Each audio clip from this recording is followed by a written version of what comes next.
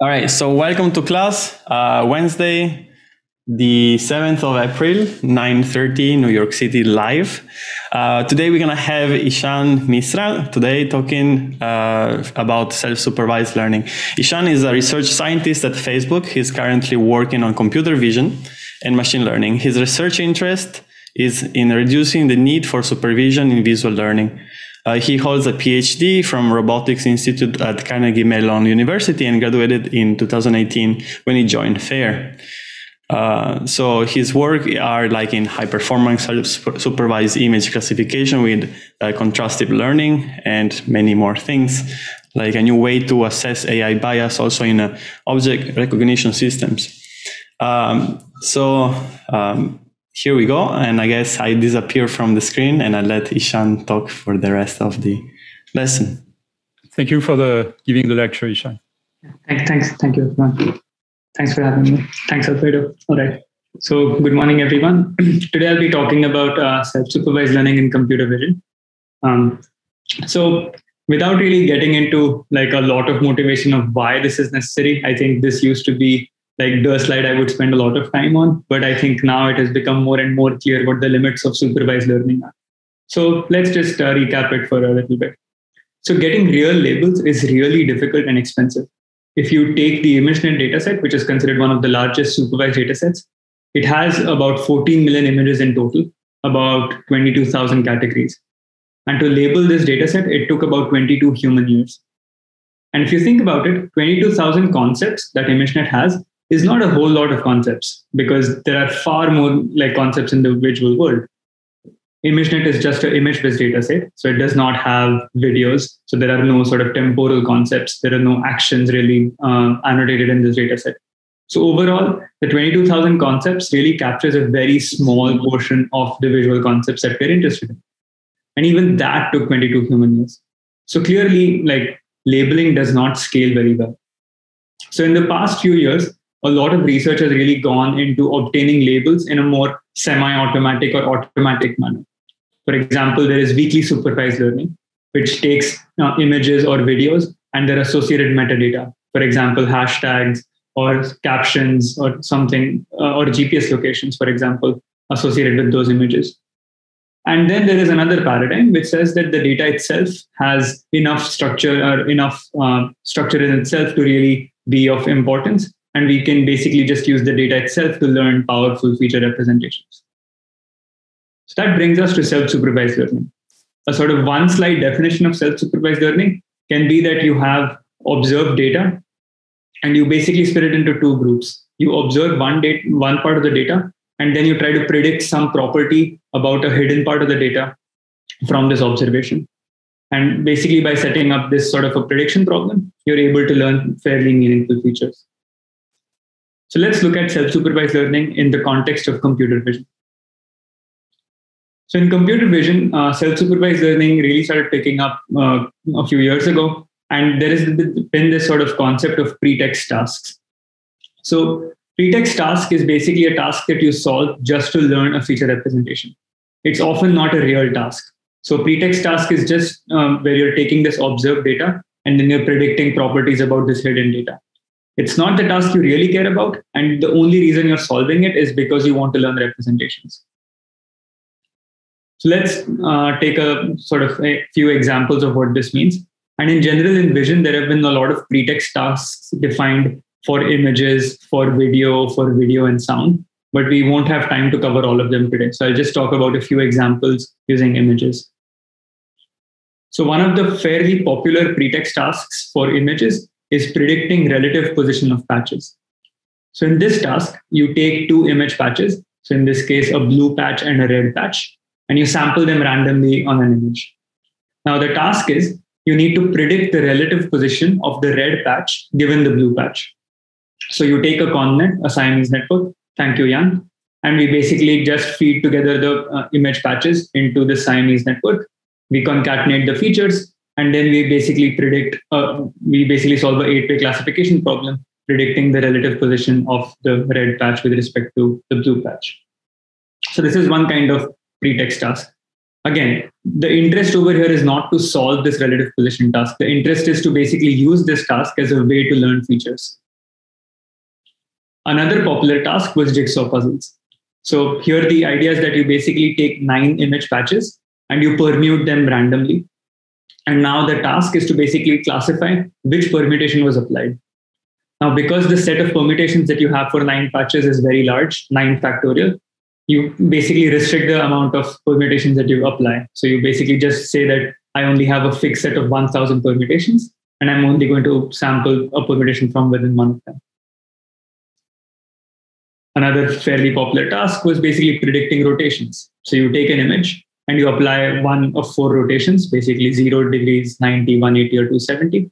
And then you output a, basically a four-way classification problem. So the idea over here is basically going to be that you solve uh, just a four-way classification problem to predict the rotation implied image. So if these tasks were so popular, what was missing from them and why did we have to really change the way we look at self-supervised learning? So if you think about what's happening in a sort of pre-training stage for self-supervised learning, there is a big mismatch between what we are doing at pre-training and, a, and what we really want to transfer to. So at pre-training, we are solving these tasks like jigsaw or like rotation, which have very little to do with the transfer tasks that we care about, which are, say, about classifying images or detecting objects. And there's a fairly big mismatch, which means that this pre training is not probably going to be fairly suitable for it. And it's a lot of hope that we had that this stuff would generalize. So, the one way to check this basically is that what we can do is once we get this pre trained network, so we take a bunch of training data, we apply the jigsaw problem, and we take a take the content that basically trains using this, we can apply linear classifiers to the intermediate layers to figure out what the feature um, like what the feature is basically at each of these intermediate layers. So what we'll do is we'll take features from these layers, we'll learn a linear classifier to solve a particular image classification task. And then we can measure the performance of each of these layers to see what this network is doing. So on this plot, what I basically have is for a ResNet, I took five layers uh, and I basically plotted the performance of each one of them. So from conv1 basically being the layer that is closest to the input to res5, the layer that is going to be closest to the output. And we look at the image classification performance on a VOC dataset and measure using the AP metric. So higher is better. So what we observe is basically when you go from conv1 to res2, there is an improvement in performance all the way basically the performance will keep improving as you go deeper into the network which is like to be expected because as you move deeper into the network the image features are probably going to get far more semantic but there is a sharp drop in performance when you go from res 4 to res 5 and this is basically uh, the res 5 is the layer that is closest to the jigsaw task and what this means is that at the last layer the features that are being learned are very specific to this jigsaw task. And these specific features are not really transferring well to an image classification task. And so this kind of brings uh, like brings an empirical evidence to our suspicion, right? In the pre-training stage, we were solving something like jigsaw, which has little to do with classification. So the features that we learned at the last layer became very specific to this jigsaw task and would not transfer very well to image classification. So if this is a problem, what is the solution? Well, let's take a step back and try to figure out what should pre-trained features do. So pre-trained features can satisfy two sort of fundamental properties. One is that they're useful to represent how images relate to one another. So if I have a, a picture of a tree and picture of another tree, I should be able to figure out that these two pictures are related. That like basically there is the same concept. And if I had another picture of a cat, then basically I should be able to figure out that this cat picture is not as related to the tree picture. And the second property is being robust to nuisance factors. If I have a tree, I should be able to recognize that tree uh, in basically different lighting conditions, in different weather conditions across the year, and with like different number of leaves. So there, there are a lot of nuisance factors, and the feature should basically be robust to all of these kind of nuisance factors.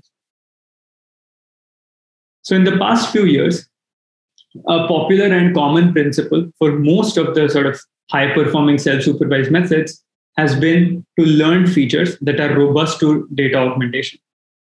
So the idea over here is basically that you are learning a function f, which is basically uh, parameterized by theta parameters. So this can be parameterized by a ConvNet. And what you want is the features produced by this network or for an image i should basically be stable under different types of image augmentations that you've applied. So if I augment the image with i, I should still basically get back the same feature. And again, the reason it's useful is because when we basically satisfy this property, the features are going to be invariant to nuisance factors or data augmentation. And this basically means that I can recognize the same deer no matter the sort of color of it or like the, the time of the day and so on. So let's try to see if such, such an approach can even work. So let's go back to the Siamese kind of networks and try to see if we can implement this. So we take an image and we apply two different data augmentations to it and we feed it through an encoder. So the encoder is basically a Siamese network. And we get features for both of these data augmentations and we try to maximize similarity. So again, we're trying to basically say that f theta of i should be very similar to f theta augmented of i. And the similarity can be your favorite loss function. You can try to maximize the cosine similarity, or you can try to minimize the L2 distance, whatever you want.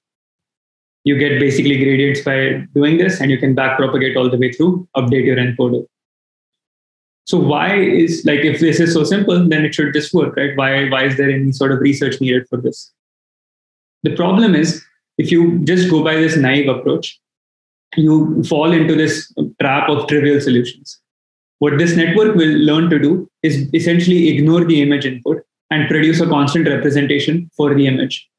So this constant representation will satisfy the property that we want. F theta of i is f theta of augmented of i.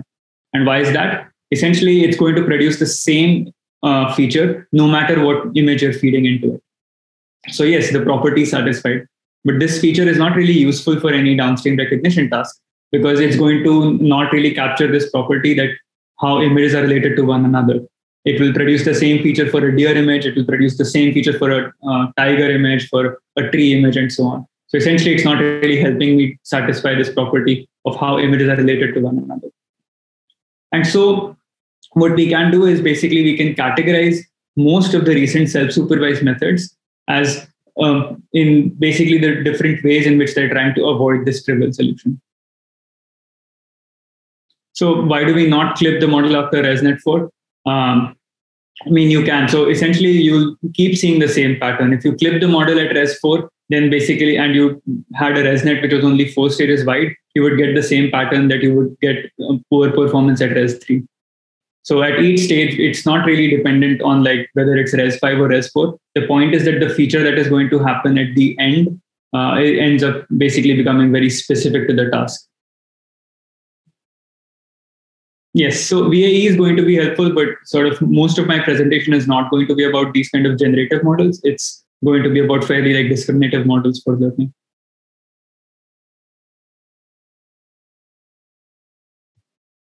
All right. So moving on. So most of the recent self-supervised methods can really be categorized in ways that they're avoiding trivial solutions. So within those methods, we can actually draw like two different uh, two different kinds of methods. So the first is a class of methods that's really going to maximize the similarity um, between features from image i and augmented versions of image i. And they're going to avoid trivial solutions in three main ways, either by using contrastive learning, or by using clustering, or by using distillation. And there's another class of methods that's basically going to use redundancy reduction to reduce, uh, basically to prevent trivial solutions. So let's look at um, the first class of methods, which is going to be contrastive learning. So before we uh, start like talking about details, let me just give you a sense of what it means when you're uh, sort of evaluating these methods. So for most of these methods, when we're pre-training them uh, using a self-supervised objective, we mm, uh, really rely on the ImageNet dataset for fair comparisons. So we consider the ImageNet dataset, the subset of it, uh, with 1,000 classes, and we remove the labels. So we get about 1.3 million images without labels. And we pre-train a ResNet 50 model uh, initialized randomly. And when we want to evaluate this representation, we basically take the pre-trained ResNet 50 model and we can evaluate it in two ways. We can either uh, just take a linear classifier on top of frozen features. So this is really evaluating the feature quality. Or we can fully fine tune the network for a downstream task. So in this case, we are basically seeing um, how good of an initialization the network provides. So one of the first works we did uh, with contrastive learning was PIRL, which stands for Pretext Invariant Representation Learning. And I'll show you how this sort of relates contrastive learning to pretext tasks. So Alfredo told me that you guys have already seen uh, contrastive learning in a lot of detail. So I'll try to be fairly quick about this part, but if anyone has any questions, please stop me. So in contrastive learning, you have groups of related and unrelated images. So you have a light blue and blue, which are related, a green and uh, all the green images are related, all the purple images are related. And what we first do is we basically take a shared network, a Siamese network, and we compute embeddings for each of these items. So we basically get all the embeddings on the right hand side. And then the loss function is essentially trying to say that all the related embeddings should be close in feature space compared to the unrelated images. So I can essentially form pairs to sort of satisfy this constraint. I can say that all the blue, the distance between the blue embeddings should be less than the distance between the blue and the green embeddings or the blue and the purple embeddings. So for the case of PIRL, it's fairly straightforward how we sort of compute these related and unrelated images. What we do is we basically feed in image i and an, another transform version of image i through the convnet. And we basically then uh, add a contrastive loss on top to encourage similarity. So this image transform is basically going to be any pretext task that we have. For example, a jigsaw task or a rotation task. And basically, by sort of uh, applying this kind of data augmentation, we are learning a network that is going to be invariant to the pretext task. So the loss function, um, again, to sort of put it back into this slide, you have the image features um, and the patch features, which are basically being compared, and you want both of them to be similar and you want them to be far away from any sort of random image or any other image in the data set. So the idea is basically that the pretext tasks can actually be considered as a, another way of data augmentation rather than thinking of them as basically being something you want to predict. You basically think of something uh, that you want to be invariant to. So let's now try to see if basically by doing this kind of a property, we are actually even uh, learning something meaningful.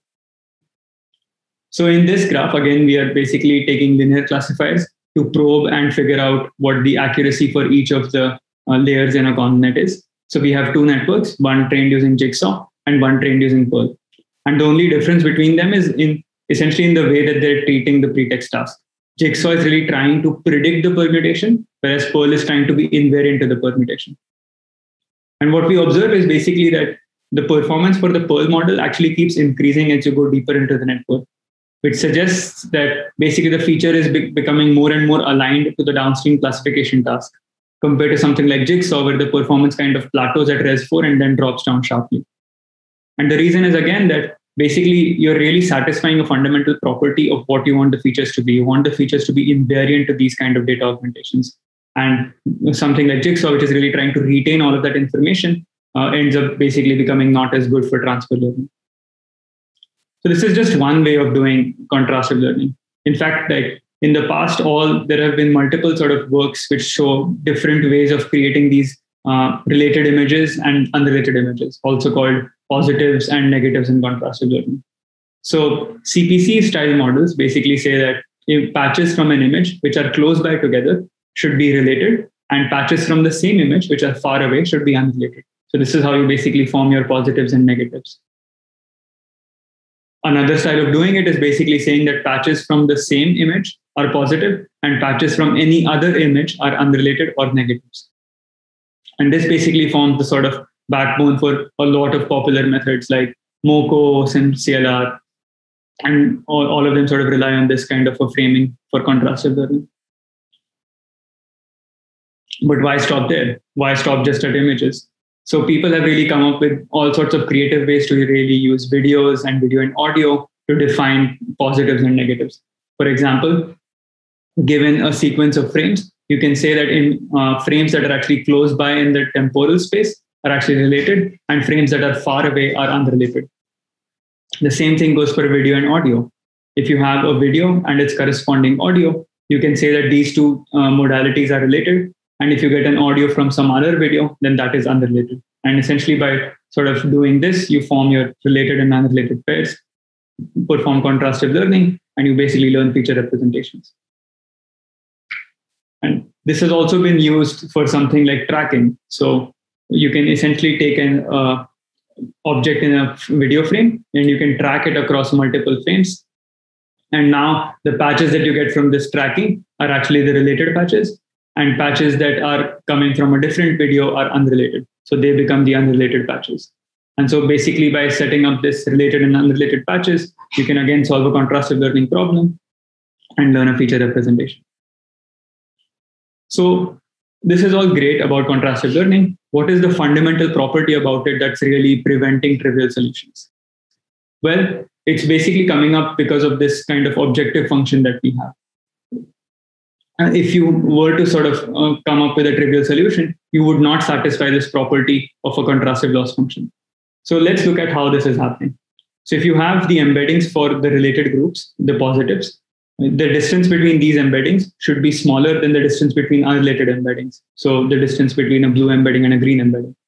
If you were to set all of these embeddings to be constant, this loss function would not, basically would not minimize this loss function.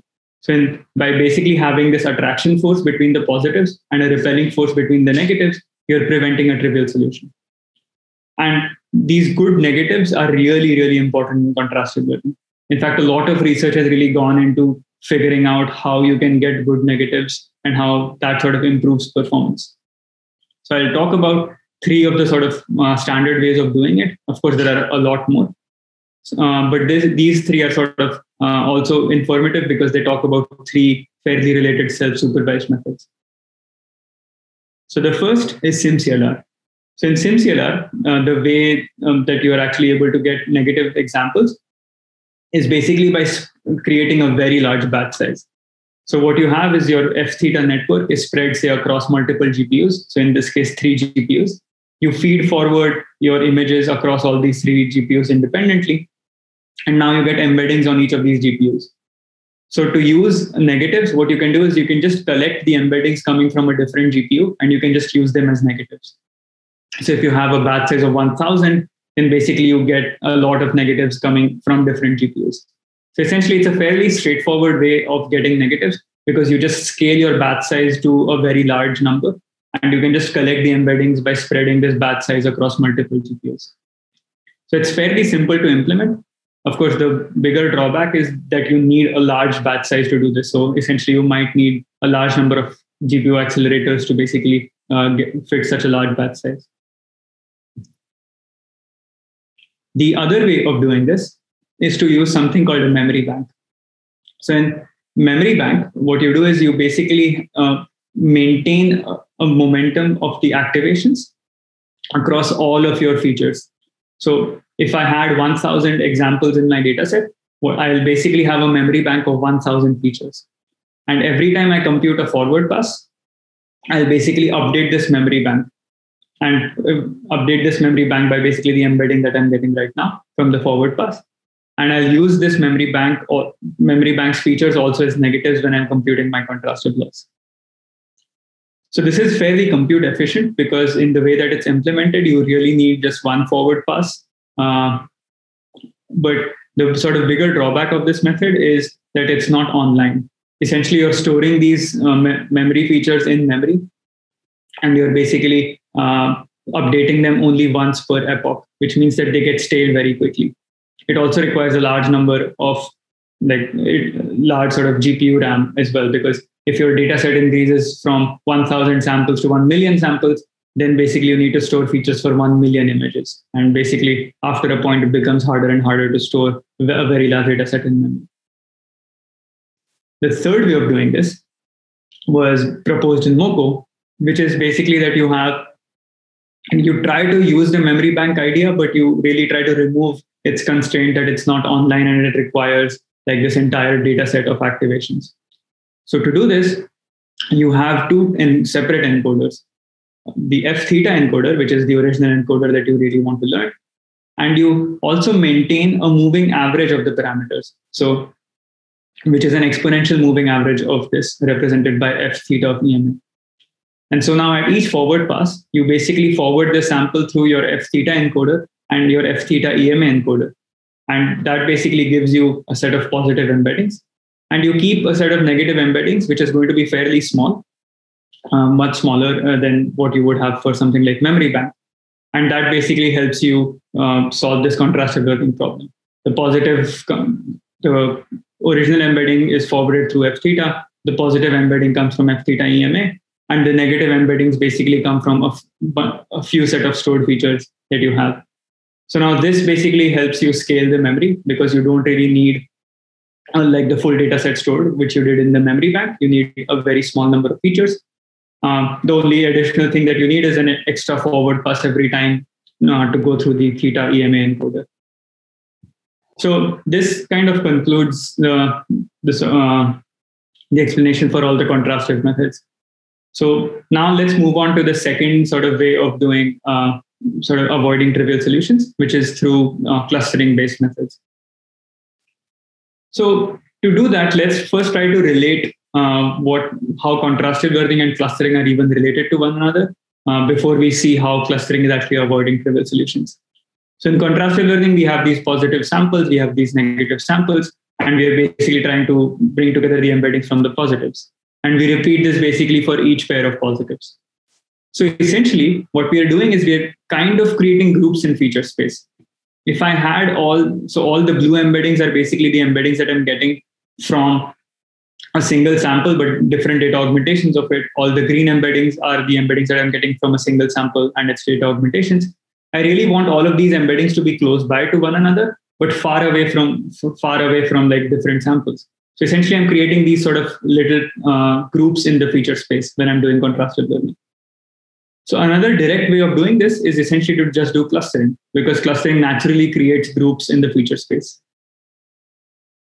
So one uh, in 2020 we proposed this method called SwAV, which can be viewed as an online clustering-based method. Uh, so the key idea here is again we want to maximize similarity between the image I and the augmented versions of it, and to do that, we are all we are going to say is that the feature from image I and the feature from augmented image I should belong to the same group.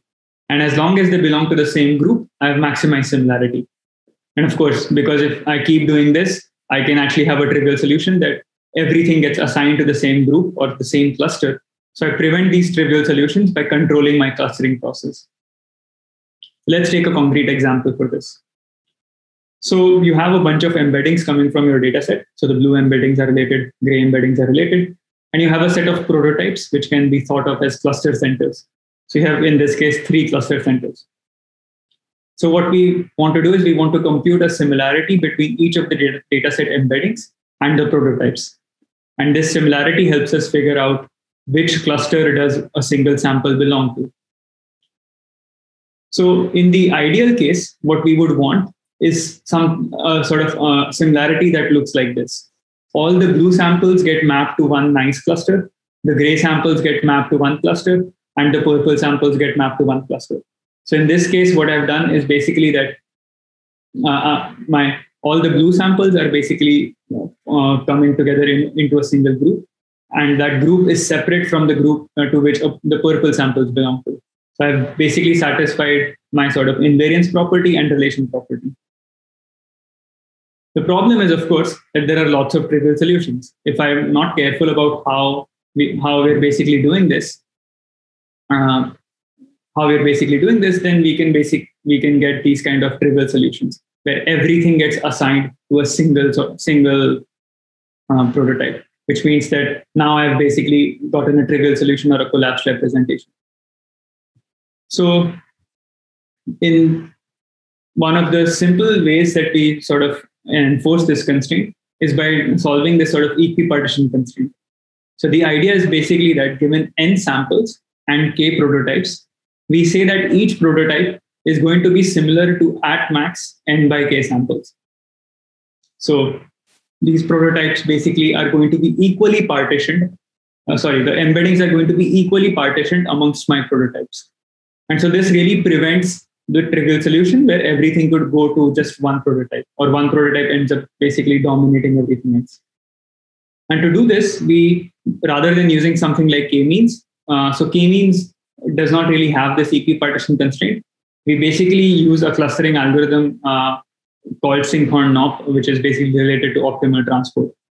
I won't go into the details of what this the algorithm is, but you can think of this as a clustering algorithm, which basically automatically has this equipartition constraint. So every time I perform clustering, I'm automatically kind of guaranteed that none of the prototypes are going to be dominant and that I'm creating uh, clusters which are going to be of uniform size. So if I had n samples and if I want to create k clusters, all of my clusters are going to be of size n by k. Whereas k, something like k-means does not really guarantee such a property. So we basically have now this uh, good uh, clustering constraint. We have basically a way to take each of the embeddings and assign them to the prototypes. So what next? So the first change we make is basically rather than computing a hard sort of assignment or hard clustering, we make the clustering soft. So rather than saying that one sample can only belong to one prototype, we basically say that it there is a distribution that it can basically satisfy over each of these prototypes. So the blue sample has a soft assignment to each prototype. So it can you can think of this as a soft similarity. So it has basically scores like 0.8 to the first one, 0.1 to the second prototype, 0.1 to the third prototype. So the similarity scores will sum up to one, but it's basically a soft assignment that is going that is uh, telling you how each embedding is related to each prototype. And what you can think of these uh, assignment scores to be are basically the, these are kind of codes. They're telling you how each embedding can be encoded if you were to just think of the prototype space.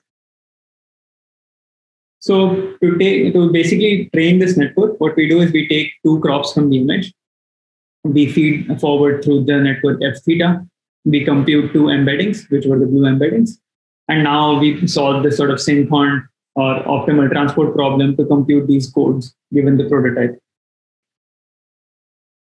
In the next stage, what we do is we basically just solve a soft prediction problem. So we'll try to predict the code from the like code number two from the embedding number one. And similarly, code number one from embedding number two.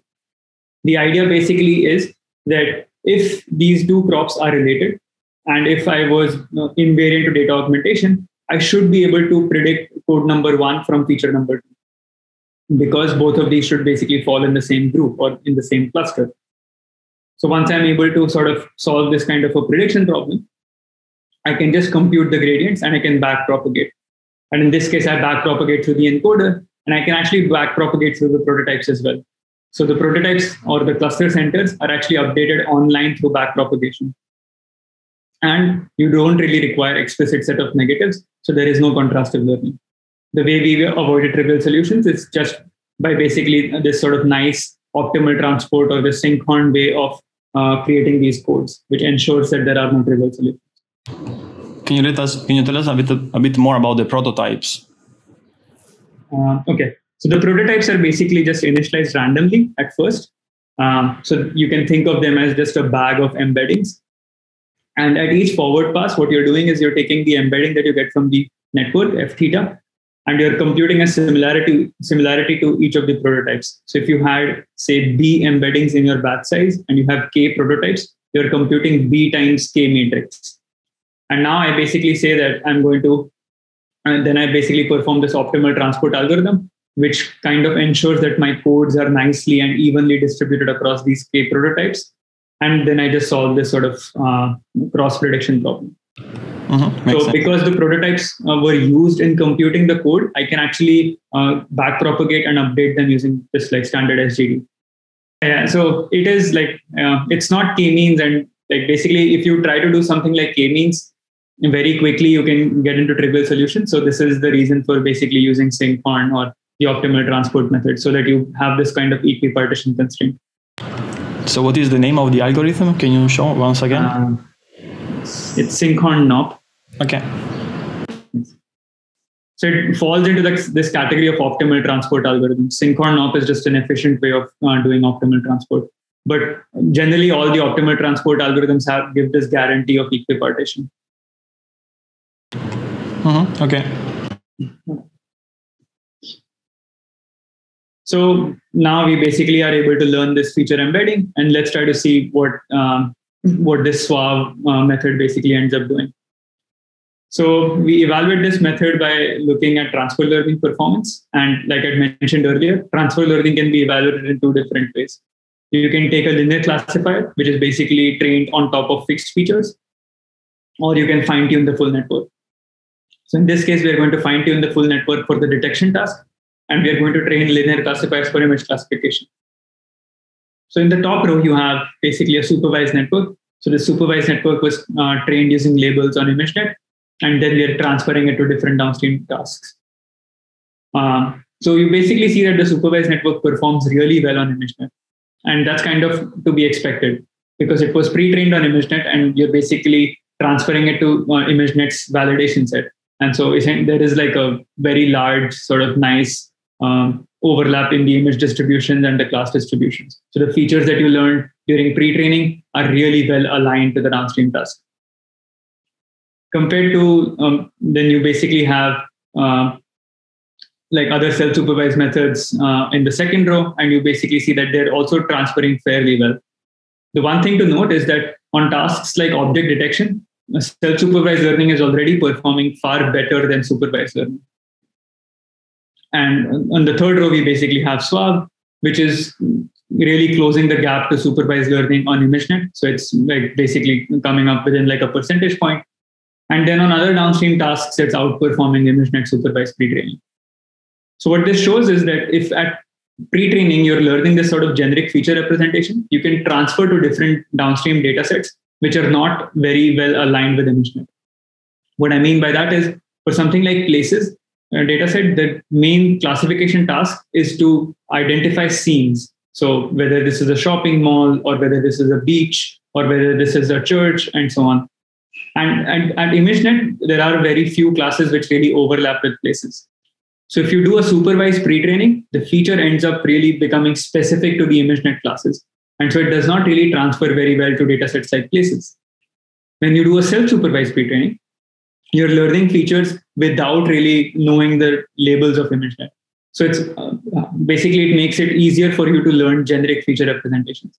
So when you transfer to data sets like places where there is limited overlap from the ImageNet concepts, you're actually able to perform much better compared to ImageNet pre-training. So there is a question here from Camila. Okay. Uh, how do we analyze the cost function when we have multiple clusters for embeddings, which are not explicitly uh, of negative samples nature? I mean, how does the model figure out which is the most suitable cluster for its embedding? If you could not, if you could explain this a bit.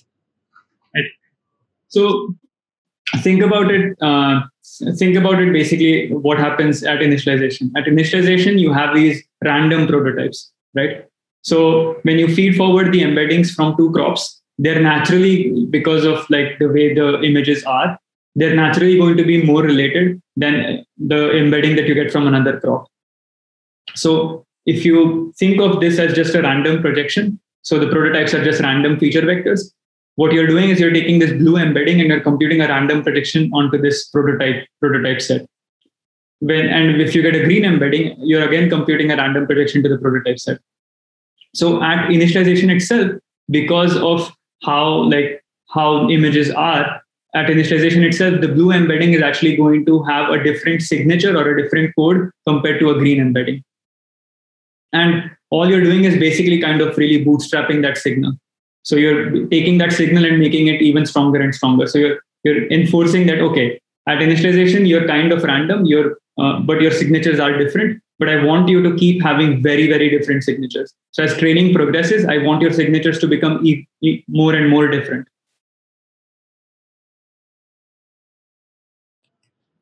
Okay. Uh, then we have another question from Raul.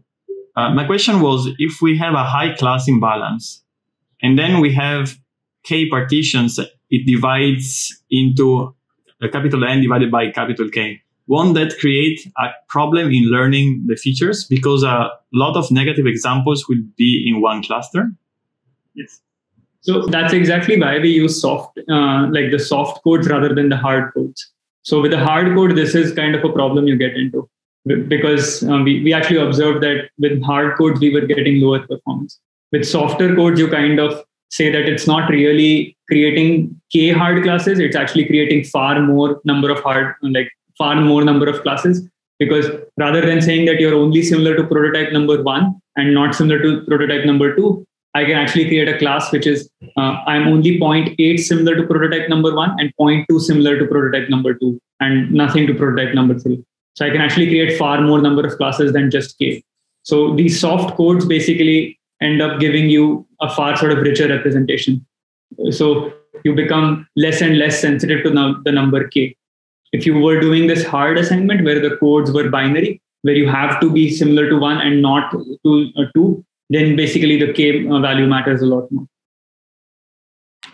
All right, both students are satisfied with your answer. And so finally, you minimize the KL different, uh, distance, right? Divergence between the yes the two, right?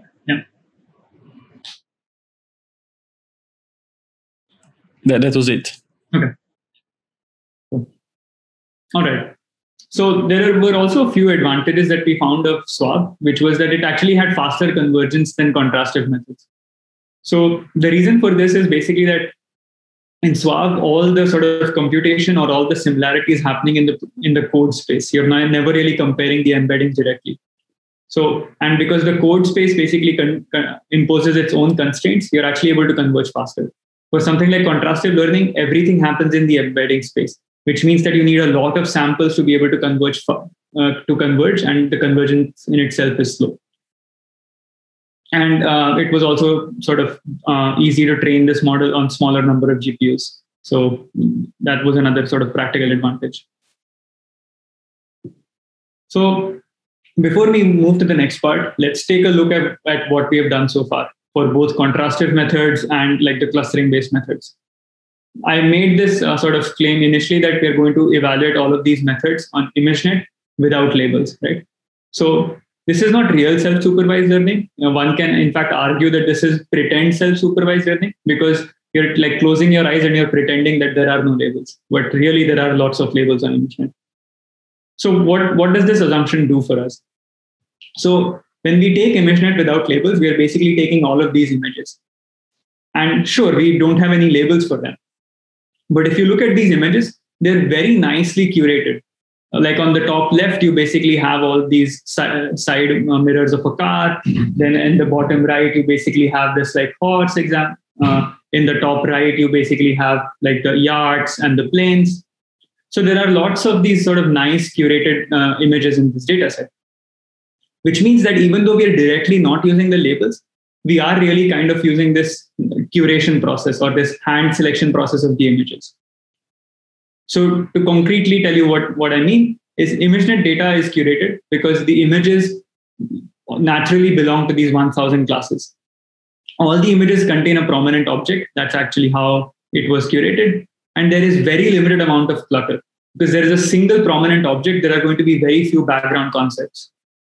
And this really sort of affects self-supervised learning. This is actually one of the hidden assumptions for it. So there was this really nice paper on demystifying contrastive learning, which brought this sort of assumption to the fore. So when you pre-train on non-ImageNet data, it really hurts performance. So this image, uh, this of, of this scene, such images are not really typical in ImageNet because it's a full scene. ImageNet would just have something like a chair and like a zoomed in version of this particular chair. Now, what happens when I take multiple crops from this scene? I get these sort of four crops.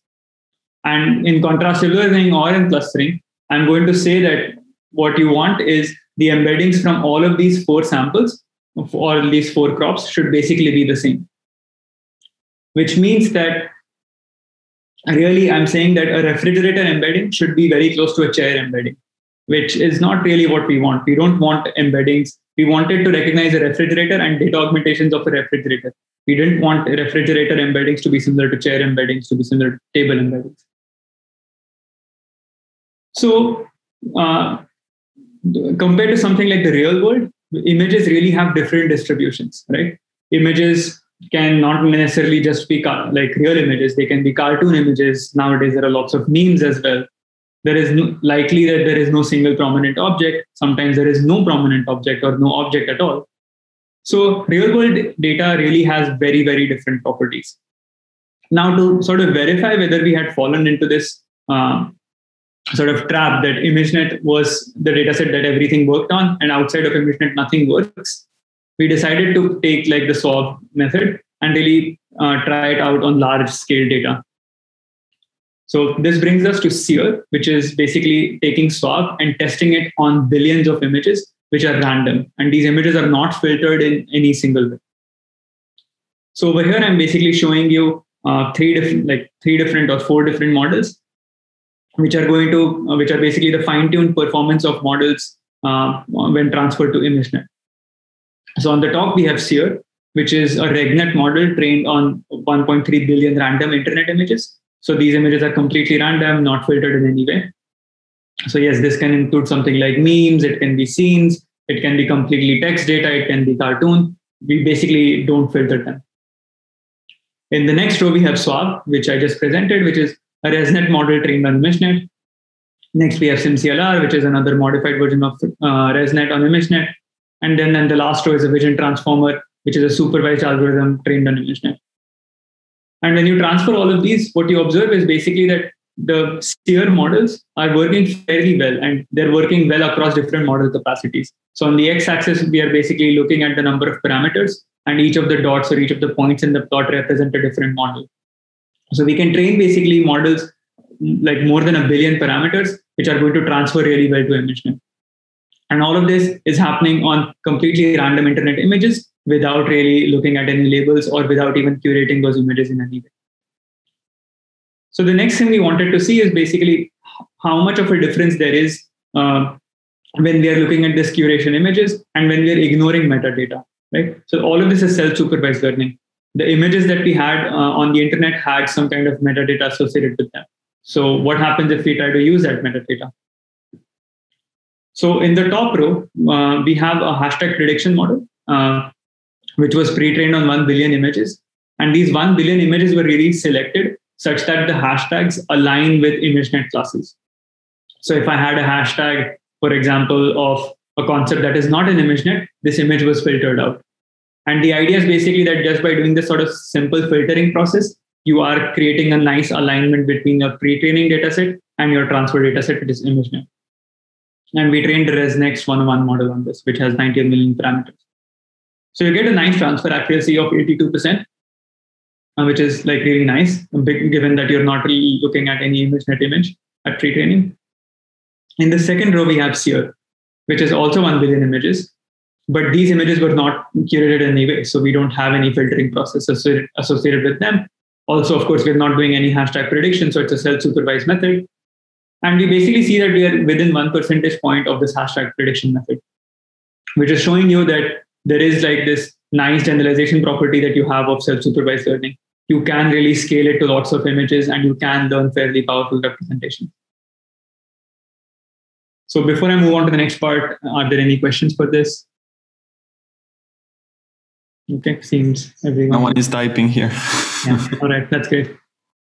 Either either they understand everything or they don't understand anything. I know.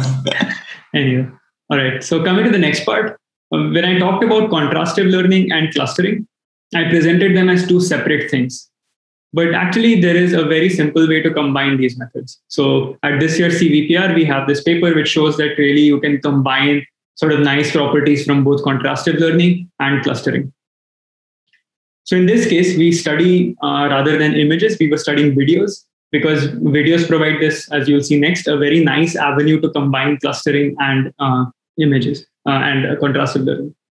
So we'll study this audio video uh, discrimination task where, like I mentioned earlier, the positives are basically coming from audio and video of the same sample. So you have two encoders, a video encoder and an audio encoder. You feed in the video through the video encoder, you get an embedding. You feed in the audio through an audio encoder and you get an embedding. And now what you say is basically both of these embeddings that are coming from the same sample should be closed in feature space compared to any other embedding, basically, that is coming from any other sample. So it's really saying that across these two modalities of video and audio, the embedding should be the same or should be related. So this is straight old vanilla contrastive learning. There is no clustering happening yet. Now, to introduce kind of clustering, we expanded the notion of positives. When I say expanded, we basically take a reference point. So that is the point on the top right. And we compute its similarity in the video features or the video embeddings and the audio embeddings to all the other samples in the dataset. So basically, this is sort of trying to show you there are lots of there are going to be lots of different samples when you're computing this similarity. And for samples where both the video similarity and the audio similarity is high, we basically just call them positive also. So you can see this as a weak way of doing clustering because rather than in contrastive learning where you just had a very sort of uh, limited concept of a positive, it has to be the audio from the same sample, it has to be the video from the same sample.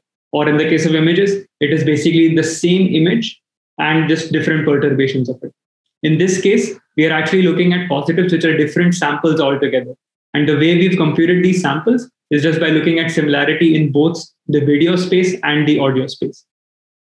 And we call this basically looking at audio visual agreements because we are looking at agree samples that agree with the reference sample in both the visual similarity and the audio similarity. And so what do these samples look like? So on the top, we have basically three different references. And I'm showing you what a positive looks, which basically agrees in both the visual similarity and the audio similarity. I'm showing you what a visual negative is and what an audio negative is. So if you take the first, uh, like basically the first column in this case, you have a person dancing and you get a positive, uh, which is basically similar in both video and audio, which is also of a person dancing. Now, if you were to completely ignore the audio and just look at visual similarity, you would you could get someone who's exercising because visually both of these uh, concepts really look fairly similar but in our case if you just look at the audio it's going to be very different for someone who's dancing. They'll dance to like a particular kind of music whereas someone who's exercising will actually dance like exercise to a different kind of music or have a different audio altogether. And if you were to just look at the audio part of it well that is confusing too because someone could be fishing with just the same background music. So if you were to just use the audio to compute your, uh, like expand the set of positives, then you don't get a very good signal there either. And similarly, we have like a few more cases here. A moving train, it sounds very similar to a moving boat, but of course, visually it's very different. And a moving train also kind maybe looks similar because of like the textures and so on to something like a truck station, but both of them are going to sound very different. So basically, by doing all of these things, you're actually able to expand the set of positives. And now you can kind of combine the advantages of contrastive learning with clustering by basically having this nice relation to different images and creating these groups in feature space. So this brings us to the end of uh, clustering based methods. And we can now either move on to uh, distillation or if anyone has any questions, I don't see any. Okay, cool. So these distillation based methods are again going to fall under this category of similarity maximization. So we have f theta of i, which we want to be similar to f theta augmented of i. It's just a different way of doing it. So you can view this as a student teacher distillation process, right? So we are going to compute an embedding from the student for the image i, and we are going to compute an embedding from the teacher for the augmented version of i, and we are going to enforce similarity between these two. And of course, if the student and the teacher were exactly identical and everything about them was exactly identical, then we would get the trivial solution. So we are going to prevent a trivial solution by asymmetry. And this asymmetry can basically come in two different ways. Uh, and both of them actually can be used jointly. So there is going to be an asymmetric learning rule between the student and teacher. So the student weights and the teacher weights may not be updated in exactly the same way when you're doing backpropagation. And there is another asymmetry in the architecture.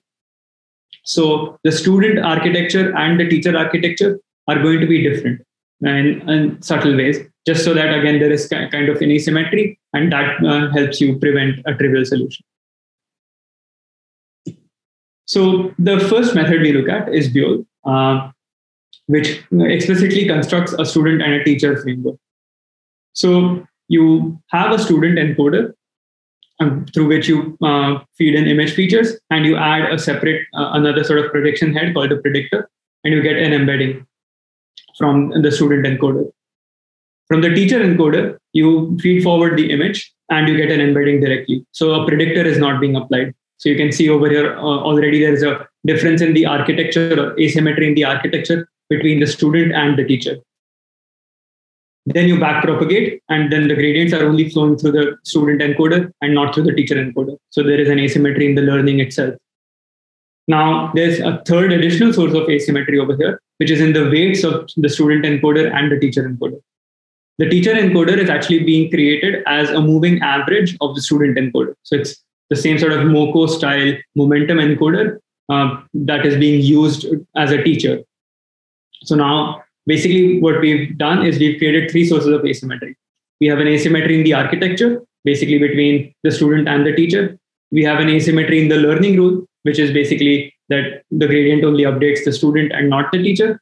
And then there is a third source of asymmetry, which is in the weights of the student and the teacher. The student and teacher weights are very different. So by introducing these three kinds of asymmetry, we can actually uh, prevent trivial solutions. So this, this will actually learn meaningful representations that won't collapse. So do you need all these three sources of asymmetry? Well, it turns out uh, that in 2020, um, another set of authors introduced SimSiam, which shows that you don't really need all the three sources of asymmetry. So in particular, they show that you don't really need a separate set of weights for the teacher's uh, teacher network. So in this case, the student and the teacher network have the same exact weights, and all you have are two sources of asymmetry. One, that the student uses this special predictor head on top. So yes, there is an asymmetry in the architecture. And second, when you're back propagating, you only flow gradients through the student and not through the teacher. So yes, there's an asymmetry in the learning update but you don't really need a separate set of weights for this uh, teacher encoder. So now basically you can see that only by just using like two sets of asymmetry, you're still able to learn fairly powerful feature representations. So this sort of covers the distillation part of it, uh, which brings us to the final part of this lecture, which is going to be about redundancy reduction. So Yes. So, is does anyone have any questions? so we don't update the teacher. Uh, in in which one? I don't know. There is a question. I, don't know. Uh, Vidit, can you clarify your question, please? I think it's about SimSiam. So the question is about SimSiam. Like we don't update the teacher, but it gets automatically updated because it shares the weights with the student. Yes. So in the forward pass, you'll basically compute these embeddings uh, through the student encoder and the teacher. So in the forward pass, basically both of them have identical weights. And in the backwards, you will not update the teacher. But then before the next forward pass, you'll copy over the weights of the student anyway. So that's how it's going to get keep getting updated. Makes sense. And the student is satisfied. All right. So this brings us to the last part of the lecture. Uh, I think we're going to have a lot of time, so I encourage folks to ask questions in general because I don't have that much material. I think we have like about an hour left. All right. So uh, this like this last set of uh, like the last sort of uh, objective function is not really all about similarity maximization. It's about redundancy reduction. So it's called Barlow twins uh, by these awesome folks. So the key sort of hypothesis here is actually inspired by neuroscience. Uh, the idea basically being that neurons in a brain communicate via spiking codes. And because your brain has a limited amount of real estate, you can't really pack a lot of neurons into it. Like there's no not arbitrarily large number of neurons. And because it also has an, another sort of um, energy constraint, you can't really power the brain with like infinite amount of energy. So you have two sort of real physical constraints in a brain which means that naturally you kind of expect that the communication that happens between these neurons is going to be an efficient sort of communication protocol. It won't be completely inefficient. And so Horace Barlow was really inspired by information theory, uh, which came roughly like a decade before he proposed uh, this sort of efficient coding hypothesis.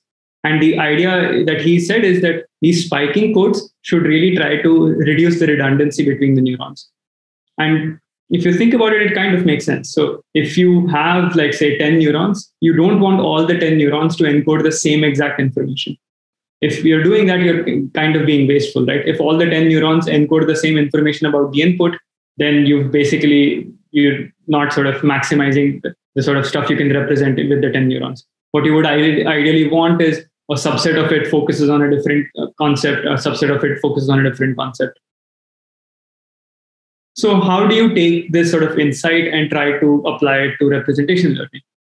So, at a very high level, and this is like very, very roughly speaking, what you have are, say, n neurons, which produce a representation which is going to be n dimensional. So, this can be the channels in your ConvNet. So, say for a ResNet, that would be a 2048 dimensional feature. And for each of these neurons, we want two properties to be satisfied. So, we want the representation produced by a neuron to be invariant. So no matter the data augmentation that is being applied, the spike or the representation that's being produced at the neuron should be invariant to the data augmentation, invariant to the stimulus that's actually being input. And the second is that it should be independent of the other neurons. Because you don't want all the neurons to capture the same exact thing, there should be some kind of decorrelation between them. So, very, very roughly speaking, if you had f theta of i, which is basically producing this n-dimensional representation, and with these square brackets, I'm indexing this representation.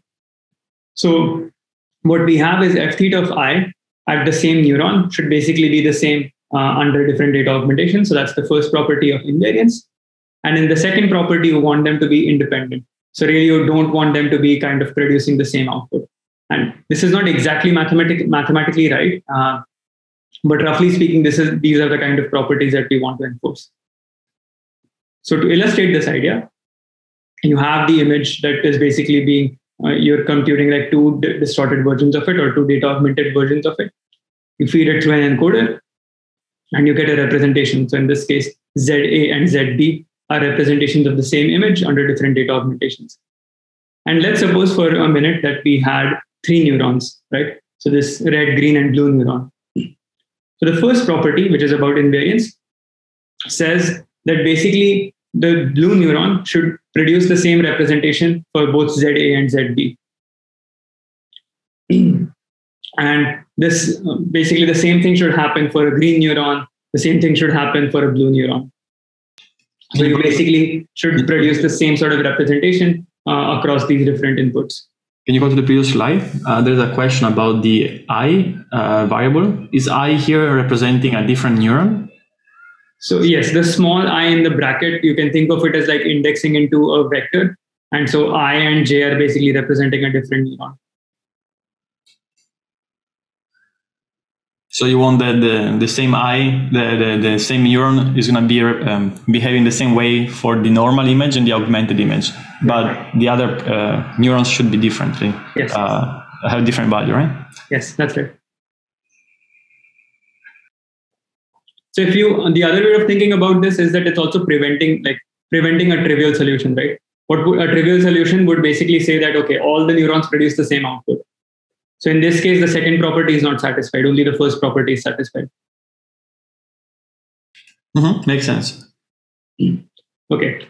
So coming to this, you basically have the invariance, which is going to say that all the neurons are producing the same output. And the second is redundancy reduction, which says that all the neurons should kind of produce a different output. You don't want all of them representing the same thing. So that's kind of trying to prevent the collapse. So in implementation, uh, the way to do this is to first basically compute a cross correlation between the between these feature matrices. So if you had a feature matrix of n dimensions b times d, where b is batch size and d is like the dimension of the feature, you will compute a d times d. So a feature dimension time feature matrix, which is going to be the cross correlation of these. So it's just going to be like the outer product of them. So now once you have this feature feature matrix, the cross correlation matrix, to satisfy the properties that we mentioned earlier, we want this matrix to be fairly similar or as close uh, as possible to an identity matrix. And so basically, the identity matrix will again enforce that all the neurons, because in the diagonal, you're basically enforcing that all the neurons um, across the different data augmentation are producing the same output.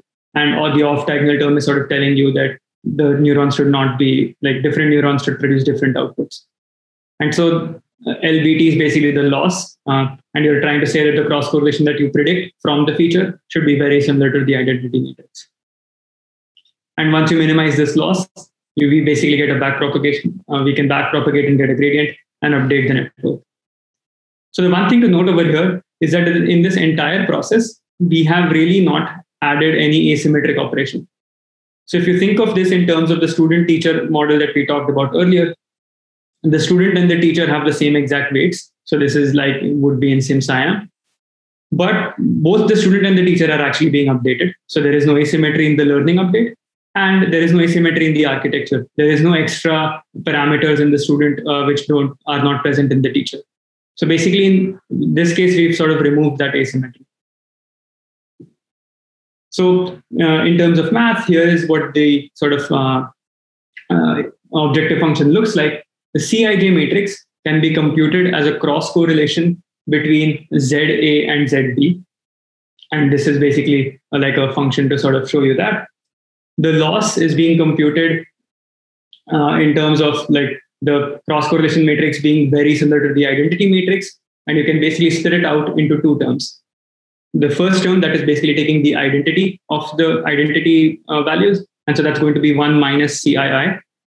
That's the invariance term saying that the neurons should produce the same output under different augmentations. And the second term is the off diagonal term. That's basically saying that all the different neurons should be different, uh, basically produce different outputs. Now, why do you have that lambda parameter there? Well, the lambda parameter is basically uh, taking, computing a trade off. So if you think about a matrix which is going to be like n by n, there are going to be just n diagonal entries in it. So the first term, the invariance term, just has n values inside it. And the second term has n, n squared minus n values, right? So all the off diagonal terms. So the lambda is basically just trying to balance, balance the contribution of both of these terms because we have a lot more redundancy reduction terms than we have invariance terms. So lambda is basically just trying to say that, okay, don't try to minimize the loss by just focusing, focusing on redundancy reduction. Try to balance both of these terms because both these properties are really important. Anthony is asking a question here. Is it correct to assume the distortions of for the images are random every time?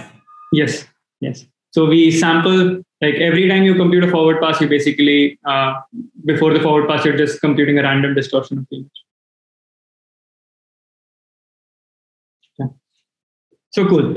So till now, all this loss function that I've talked about uh, prevents trivial solutions like in one way, right? So if you had uh, the neuron, like if you had a constant representation where all the neurons produce the same output, then you would not be able to sort of minimize this loss function uh, and you would basically have a trivial solution. So you're kind of preventing trivial solutions this way. There is actually another set of trivial solutions, which this uh, won't really prevent all that well. So in that trivial solution, the neurons are producing basically different outputs. So they're completely decorrelated, but they're constant across the entire input. So essentially, each neuron is producing a very different kind of an output. Um, and you can, or very, uh, basically, these neurons are producing different types of output, but they're very, very similar across a bunch of images. So now, to prevent that, we basically just center the ZA and ZB vectors before computing the cross correlation. So when I say center, um, what, I, what we're doing is it's kind of like a batch norm operation. So you take ZA and you subtract its mean and you divide by this standard deviation. This is like a fairly standard centering transform. And the reason it prevents this kind of a trivial solution is because if, if you were producing the same sort of output feature across all the images, then when you center, you will basically get a zero matrix, right? So if I had a matrix of n times d, and if everything was roughly the same, when I subtract the mean, I'll basically get an entire matrix of zeros. So just by doing this kind of centering before computing the cross correlation, we can kind of guide the network away from this kind of a trivial solution.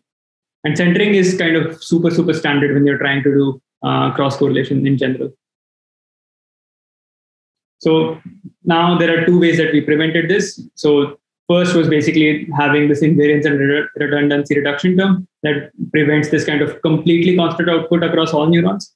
And then the second is basically that you can still have this uh, weird kind of a constant output where the neurons are kind of decorrelated, but still producing a same feature for the images. So that is prevented by basically doing a centering operation. So in this entire process, we've prevented trivial solutions without really look, uh, looking at negative samples. Because at each point, when you're considering these uh, embeddings, you're only considering the positive pairs.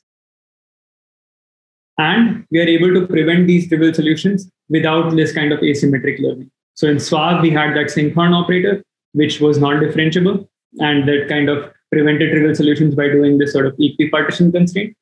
In BYOL and we like the distillation based methods, we had some kind of either asymmetry in the learning update, in the student teacher, or basically having this special predictor head.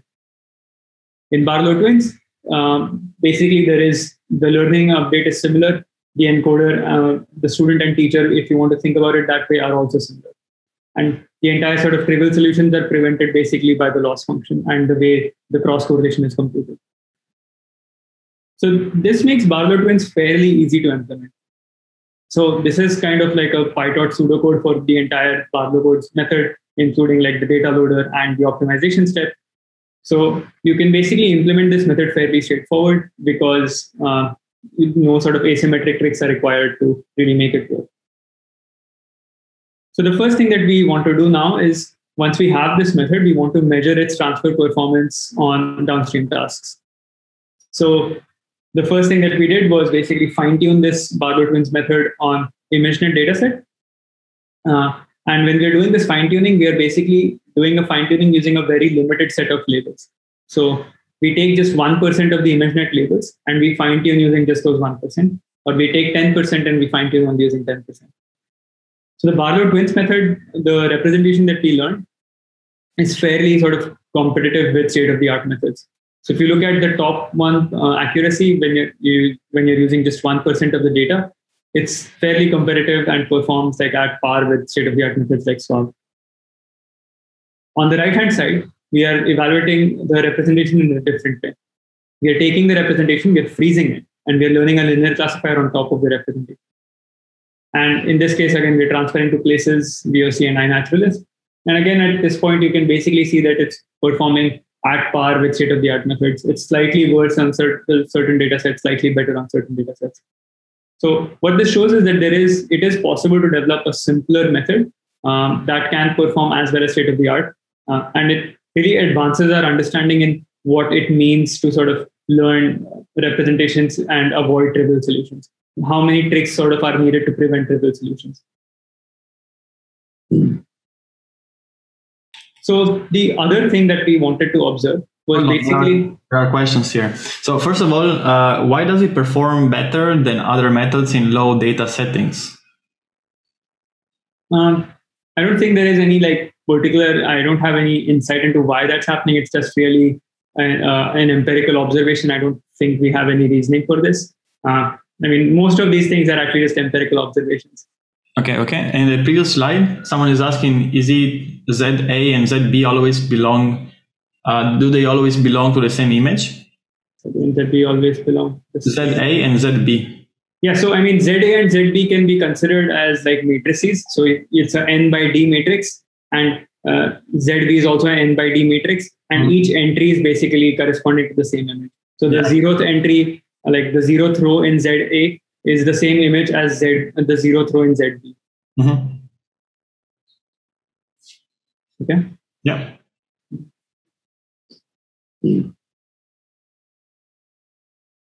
Okay. So the next thing to uh, inspect was basically whether the Barlow twins method, uh, how sensitive it is to the batch size that is being used. Because I did mention that we have this centering operation that we need to do before computing a cross correlation. So let's uh, forget about Barlow twins for a minute and let's look at SimCLR to understand what, what how batch size can actually be an important factor. So when I talked about SimCLR in terms of its contrastive learning, uh, I said that the way you get negatives is basically by spreading the sort of like taking a very large batch and spreading it across GPUs, right? So, and in contrastive learning, I also said that good negatives are super, super important because that really ends up preventing a trivial solution and also creates like, like these nice sort of um, feature clusters. So for SimCLR, if you reduce the number of uh, like the number of samples in a batch, you're effectively reducing the number of negatives that you are using for computing like your contrastive loss. So when you go from a batch size of 4,000 to a batch size of 256, you can see this sort of degradation in performance, which is directly correlated to the number of negatives that are being used for contrastive learning.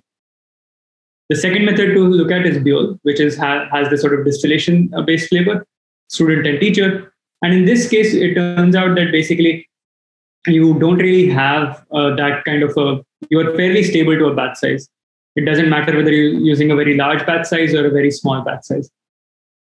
In the case of Barlow twins, the stability is somewhat in between.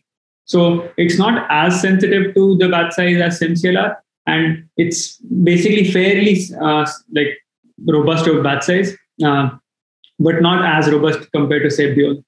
And in recent like uh, past few weeks, we've actually pushed this to the limit, and we've trained with even smaller batch sizes of 128, and we can actually observe that it's still robust, like even beyond this regime.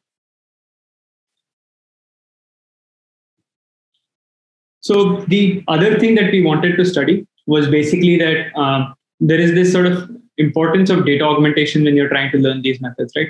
So There's a question the, for the previous slide, though. okay. uh, is the drop in accuracy for BT due to the use of batch norm, actually? Mm, so, I mean, that's the reason to actually verify it at 128 batch size. So, at 128 batch norm, like basically the variance in batch norm is going to be higher. Um, but it turns out even at 128, the performance gap is actually fairly similar to that of like um, BYOL. So it turn I don't suspect it's because of that. And at the right end where you're seeing like a big drop in performance at 4000, I suspect it's more because of the optimization rather than Barlow twins itself. So the thing is when you change batch sizes, you need to adapt a lot of the learning or like learning hyperparameters, the learning rate, the weight decay, um, and basically like how you're sort of decaying the learning rate and so on. So I suspect at the right hand side, the like bigger drop in performance is not because of the algorithm; it's because of like the optimization hyperparameters that we used. So also Rahul is asking, can you tell us in detail why different batch sizes create so much differences? I mean, I think uh, you just mentioned, like you just uh, answered this question right now. Right. And I mean, apart from that, like apart from optimization, then uh, certain loss functions are like more sensitive to the batch size. So like contrastive loss functions, because especially the way it's implemented in SimCLR, it really relies on the batch size to get its negatives. And yeah. so, depending on the batch size, you can actually see a very dramatic difference in performance because you will actually get fewer number of negatives. Yeah, yeah, makes sense. All right. So the next thing to study was how important the data augmentations are when you're creating these sort of different uh, distorted or perturbed versions. So in this case, again, we are studying, say, BYOL, Barlow twins, and SimCLR. So at the baseline, you basically have what baseline in this graph means is like you have you're using all the data augmentations, and then at each step, when we basically move towards the right, we're removing a particular kind of data augmentation. The first thing to observe is basically that SimCLR and uh, Barlow twins are roughly like similar, uh, show a similar sort of uh, trend when you're uh, looking at different data augmentations. Both of them seem to be fairly sensitive to the way like what data augmentation is being used. Whereas BYOL seems to be far more robust to data augmentation. Like you can remove a lot more data augmentation and the drop in performance is actually going to be much smaller. So if you think about it, there is a fairly different way in which both of these models are working. So in Barlow twins, you take the image, uh, or in SimCLR, you take the image, and you feed it through exactly the same encoder, right? So the Siamese network that you have is basically has the same exact weights for both encoders, and you get a feature output. And now what you're saying is basically both of these features should be like in the case of Barlow twins, redundancy reduction loss, or in the case of SimCLR, basically you're saying that both of these should be similar uh, by using contrastive learning. So the power that you have in this sort of case is that the data augmentation really needs to produce very different features so that you're actually like you're, at every step you're basically doing something different. Whereas in the case of BYOL, when you're feeding in the image through the encoder, the weights actually are completely different for the student and the teacher. So even if you were to feed the exact same image through the encoders, you would actually get a very different output because the student weights and the teacher weights are actually different. So naturally, the teacher is actually applying some, you can think of it as there is a natural amount of data augmentation that's coming from this moving average encoder. So essentially, uh, this is one of the reasons why BYOL seems to be far more sort of robust to data augmentation compared to other methods uh, like say Barlow twins or SimCLR. Now, the next thing that we wanted to check was whether any sort of asymmetry is actually beneficial for Barlow twins. So, so far we've seen that asymmetry, without asymmetry, we can actually prevent trivial solutions. But does adding any asymmetry actually help us? So we tried basically the same kind of asymmetric uh, ideas that are present in SimSiam. So basically using a stop gradient, so stopping the gradient to one branch or adding a different sort of predictor head. And it turns out really you don't need uh, like in Barlow twins adding in both of these uh, methods really does not seem to improve performance by a whole lot. In fact, adding both of them together actually seems to hurt performance. So it kind of suggests that the like the way we have sort of prevented the trivial solution asymmetry is not needed at all. And in fact, adding it will probably not give you much benefit anyway. The third sort of property to verify is the number of non-redundant neurons. This entire like entire sort of discussion started with taking saying that you have n neurons and you want all these n neurons to be different. So to do this, I'll talk about a little sort of detail in twins, which is important to understand. When you have the image, when you feed it through the encoder, you get a particular feature dimension. So for a ResNet, that would be 2048. And then that feature is actually projected through an MLP before applying, say, a redundancy reduction loss. And this is also standard in, say, contrastive learning. You actually apply from the 2048 dimensional feature, you apply an MLP uh, to compute a very small embedding, and then you perform contrastive learning in that. And similarly, for something like BYOL, you have a predictor head. So the in Barlow twins, all the redundancy reduction is happening on the feature that is computed after the MLP. So what we want to now study is basically uh, does that feature dimension matter and how much it matters. So to do this, we'll vary the MLP dimensions. So basically, the MLP will go from say 2048 to uh, so it will take as input a 2048 dimensional feature, and it can produce say either a 256 dimensional feature or a four like 4000 dimensional feature. So we'll just vary the stuff on the right. And for all of the methods, we basically evaluate still the, the 2048 dimensional representation from the encoder. So that sort of uh, shows that we are just measuring the encoder's performance and sort of decoupling it from the MLP that is being used. So on the x-axis, we have basically a different dimension for the projector. So either going from say 16 dimension to like uh, in this case 16,000 dimension, uh, and we again have the three methods, Barlow twins, BYOL, and SimCLR. So for Barlow twins, the performance really um, like really improves as you increase the dimensionality of the projector. So if you go from 32 to like 16,000, the performance is going to like really, really improve as you keep increasing the dimension. In fact, it's not even plateaued at 16,000. You can keep increasing it. For something like BYOL and SimCLR, it seems to be slightly more robust to this. Uh, but BYOL basically you see a drop in performance if you keep reducing the depth a little bit. So beyond 128, it really starts to hurt performance a little bit. For SimCLR, it seems to be far more robust. Like you can increase the number or you can decrease the number, and it's going to perform roughly similarly. So why is this sort of a different trend for these three methods? So in Barlow twins, when we're doing this redundancy reduction loss, we are really encouraging kind of a sparser representation. We are saying that all the neurons should encode something very different. So now suppose you had like 10 concepts to represent in an image. It means that we are basically uh, kind of saying that all the neurons should capture different aspects of it. So we need maybe a slightly a larger number of neurons because we are enforcing this sparser representation. We want the neurons to be completely decorrelated. Whereas for something like SimCLR and BYOL, we're actually taking like these very dense vectors and these vectors themselves, we are not enforcing any sparsity on top of them. So that's one of the reasons we suspect that for Barlow twins, we actually we benefit a lot more with a higher predictor dimensionality compared to some other. Um, and that actually brings me to the end of my lecture. Uh, kind of finished earlier, but if you have questions, I'm happy to take them. Uh, what is the depth of MLP used in the last network?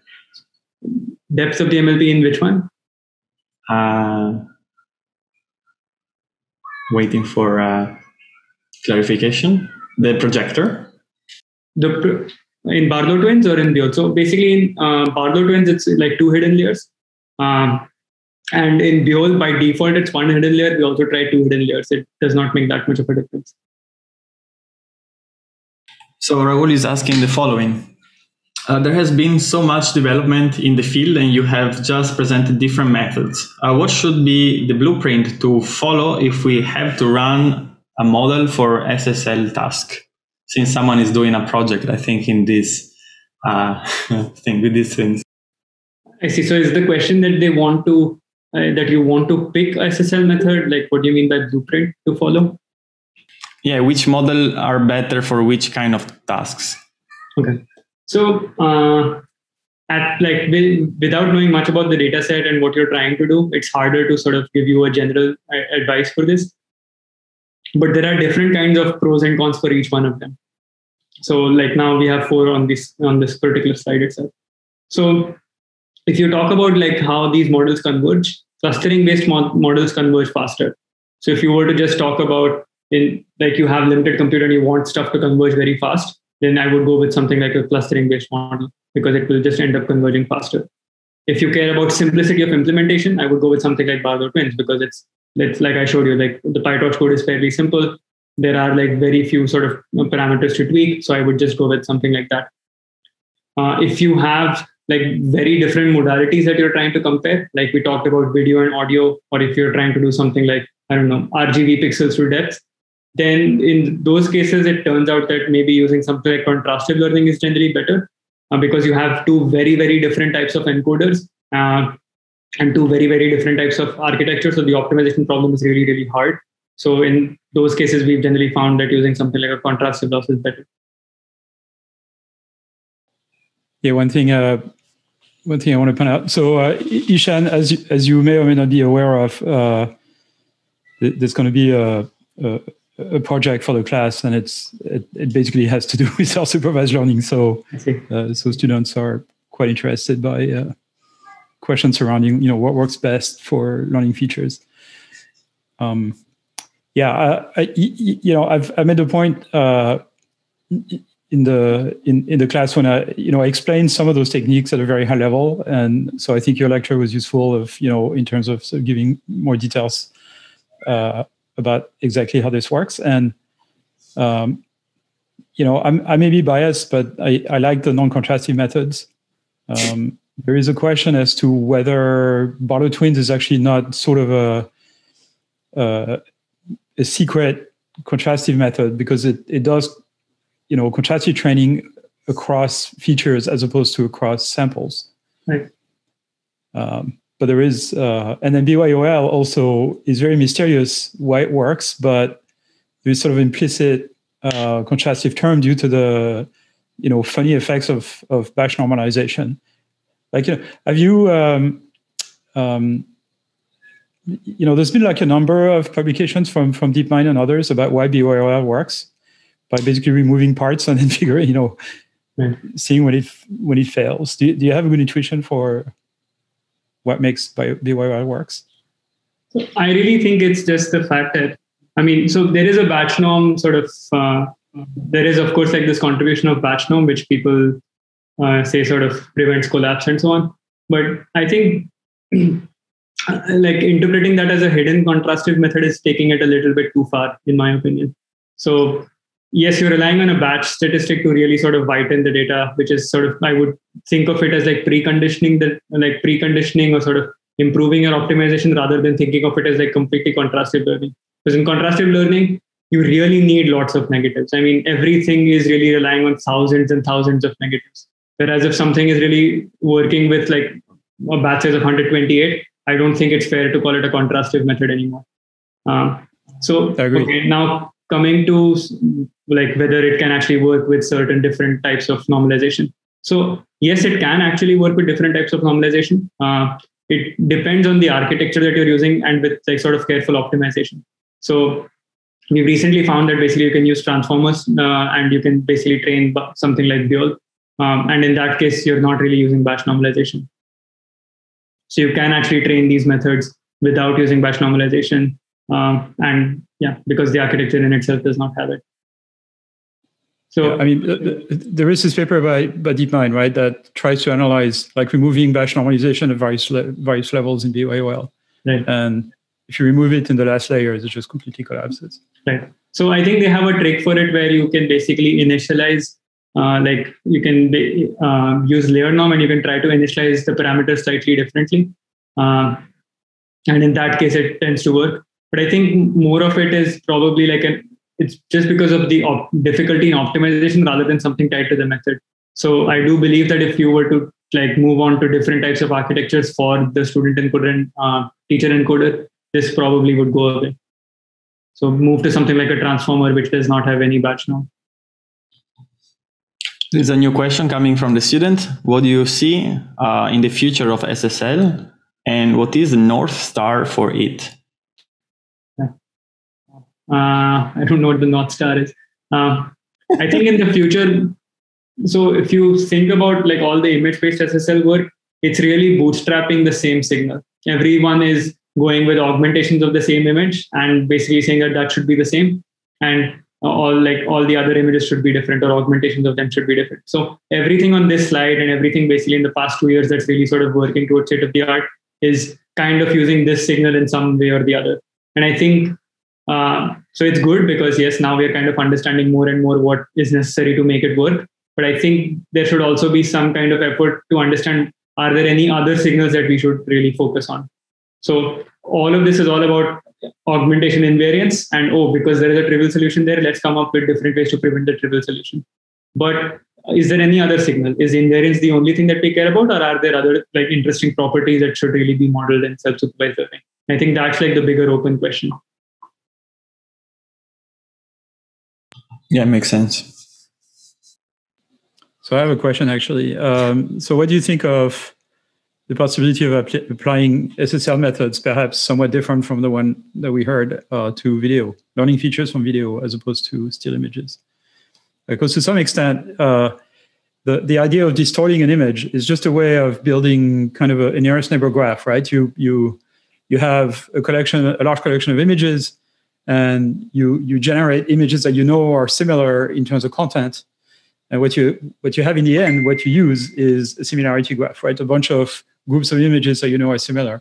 Now, if you have video, you can imagine kind of a similar thing where successive frames in a video are deemed to have similar content, or you could imagine that you know one of the branches in a joint embedding architecture would have a bunch of frames, and then the other branch would have maybe just one frame, maybe the, you know predicting the next frame or some frame in the middle. Um, uh, can you comment on SSL for video? Right. Uh, so, uh, like SSL for video, uh, so far has really followed. I would say, like most of the times, like video sort of architectures and video class and tasks really sort of mirror image tasks or image like architectures. So, in the same way, like in SSL, it has really been, I would say, a mirror effect. So, there are the same kind of contrastive methods like you talked about, where you consider like images from like frames from the same neighborhood to be close by. You apply similar kind of data augmentations, cropping, and like basically like color distortions and so on. So all of that is basically uh, the same thing, and you're doing contrastive learning again. The only sort of newer thing that I have seen is like using audio as a supervision, and that's really been because when you're computing these data augmentations in a video, there is a lot of redundant information. So the contrastive task becomes fairly easy. So you need to be even more aggressive when you're applying data augmentation. Because the task over here is to recognize two different clips from the same video. And because there are like 10 frames all 10 frames are going to have similar background. Stuff is barely moving amongst them. So the task becomes easier.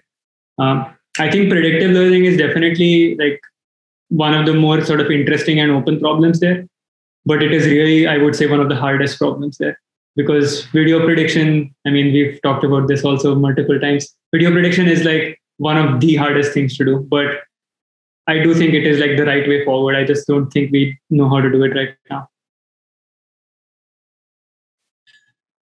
Uh, question coming in uh, for SSL. Has anyone ever tried to stick a GAN to generate noise for data augmentation, like trying to learn some limited noise that tweak the encoder in the worst way possible? I see. So, kind of an adversarial setting where you're learning an adversarial network to uh, like create data augmentation such that the loss is like maximized rather than minimized uh, believes yes yeah so I, there has been some work on it that i have seen but uh, not like it hasn't become super popular uh, but I know like of like I have tried a few experiments myself, and I know other folks who have tried this as well. Um, basically, trying to inject like some kind of yeah learn it along with the network, and it turns out it's like very similar to the standard sort of adversarial attacks that you get. Like uh-huh. can't really distinguish what's really going on. There is super high frequency signal being added, and yeah. that makes the sort of loss go very very like it completely goes nuts. Uh, All right. So it seems like we have satisfied the curiosity of everyone in the room. oh, okay. Uh, platform to reach Ishan. How do how do they reach you? Uh, email. Email. Okay. Do we know your email? Yeah, it's like uh, uh, like I am ISRA. My first like Ishan Misra. So I am ISRA at fb.com. Okay, very good. We'll provide the student the email in case they ask. All right. All right. So thank you again for being with us today. It was very uh, enlightening. Uh, the slides are very good. Uh, I saw yesterday. Yes, I saw them yesterday already, so I already knew what it was coming more or less. But the last one is very pretty. I haven't seen this one, so. anyway, so again, thanks for for for you know explaining and be uh, and, and answering every question we uh, throw at you. And so looking forward to see you around, perhaps uh, after the pandemic and and to hang out a little. Yes, absolutely. Thanks for having uh, me. Thank you. Of course. All right. Bye bye, everyone. Thank you, Ishan. Thank, thank, thank you. again. Bye. Thanks, everyone.